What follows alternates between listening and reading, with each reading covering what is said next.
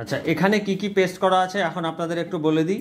এখানে আছে টমেটো আদা লঙ্কা মগজ কাজু কিশমিশ পেস্ট করা আছে। আর তার মানে সামান্য হলুদ দেওয়া আছে। নমস্কার।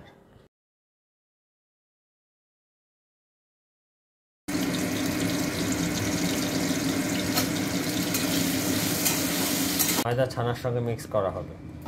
ময়দা ছানা নুন। নুন।